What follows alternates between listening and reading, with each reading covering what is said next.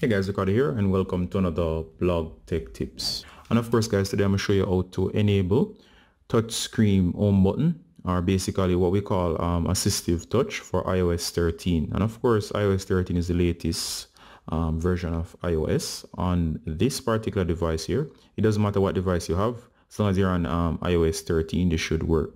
Alright, so this include on newer devices such as the iPhone 11 or even on older devices, iPhone 6, iPhone 7, you name it all right? So we're going to turn on the um, touch screen home button. And of course this might be in cases where you just need the home button on your device. Maybe you miss it or of course maybe your physical home button is missing. All right? So let's go straight into it. All right guys? So the first thing is go to um, settings. Once you're in settings um, just scroll down from the top. And of course you're going to go into the feature that says accessibility. And of course next you're going to search for the option that says touch which is this option right here. Go ahead and tap touch. And of course, what you're looking for is the feature known as assistive touch. Assistive touch is found right here. So simply go ahead and tap and notice it gives you the information. You can read that on what the feature does. Once you do that assistive touch, you'll be in the menu right here. Go ahead and turn on. And right away, once you turn on an assistive um, touch, you should see the button right here on screen that you can manipulate or move around all right? So of course um, right away you get the feature. Now guys once you're um, enabled the feature I'm just gonna go ahead next and you can customize top level menu meaning you can mess around with what this does. And as you can see right here guys you do get these features right here. Notice it says tap an icon to change and of course you can customize you can even reset it back to its default in case you forget what it was. Notice it says here home you can do siri custom notification device control and so on. Alright guys so once you're here of course this is the overall setup for you to customize the menu. You can add and remove features. So for example if I hit um, the minus it will keep erasing icons and of course I can choose what each button does. But in this case guys what I'm going to do right here now is to show you what the capabilities of this button. So there you go. And of course all once you tap notice it brings up this um, menu. For example I can tell it to go home it will act as a home button. For example if I were to be over here and I tap and hit home notice it moves back to the home. Or if I'm in any menu at all and tap here and tap home notice it goes back home. And of course as I said this is for those who miss the home button or of course in case your home button if you have a device or a device that um, doesn't have the well device that has a broken home button. All right so you can do that. And as I was showing you guys before um, in case you can just simply go ahead and tap to remove or if you want you can program buttons. Notice here it says the one that's marked as home is doing home so if I wanted to, I could change that. But of course, I'm going to keep it as home. There's no sense in changing that. If I wanted to, I could change one for Siri. Notice it is selected for the um, Siri feature right there. And of course, I'm just going to hit done. Now, of course, as I said, guys, you can keep removing buttons. So simply remove buttons until one remains. Once one remains, you simply tap it. So let's say we erase. I don't want to do that right now. Leave it as default and say I want to erase. I keep on erasing each of these until one is left. Then of course, I'm going to tap.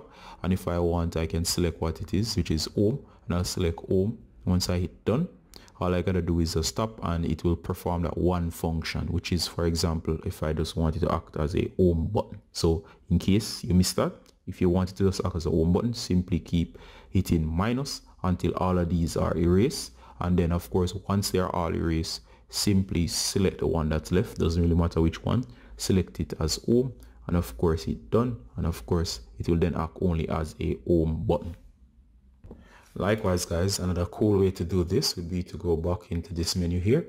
And if you notice it says here single tap open menu, double tap or long press. So if you wanted to, you could simply have open menu and long press in case you want to access the menu.